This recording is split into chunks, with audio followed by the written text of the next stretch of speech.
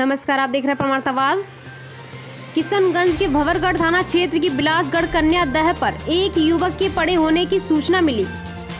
इस पर उसके परिजनों को सूचना देने पर बिलासगढ़ निवासी महेंद्र सहरिया ने अपने पुत्र राजकुमार के रूप में पहचान की तो वह उसे लेकर किशनगंज चिकित्सालय में लाए, जहाँ पर चिकित्सक द्वारा जाँच कर उसे मृत घोषित कर दिया गया। इस मामले में मृतक के पिता महेंद्र सहरिया ने बताया कि मेरा पुत्र राजकुमार कन्या दह में नहाने गया होगा। उस समय या तो शराब के नशे में छत से कूद गया होगा या किसी ने धक्का मार दिया होगा। उसको हम कन्या दह से उठाकर किशनगंज चिकित्सालय में लेकर आए हैं, जहाँ पर उसे मृत घोषित कर दिया। हम इस मामले पर किसी को शक भी नहीं कर पा रहे हैं। मृतक के पिता महेंद्र ने राजकुमार मृतक का शव किशनगंज चिकित्सालय में पोस्टमार्टम के लिए रखा गया है।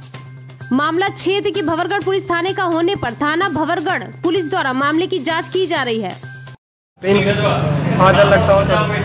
आगे है पहले कन्या देवी लाल ये आपका लड़का? लड़का है सर। क्या नाम है?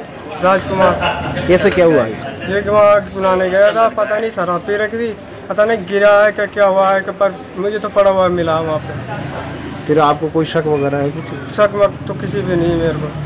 अच्छा। तो फिर आप क्या करना चाहते हैं आप? सर कुछ भी नहीं करना चाहता मैं तो ले जाना चाहता हूँ मेरे लड़के। कोई तुम्हें कैसे मारा क्या है ये इसका कुछ पता चला?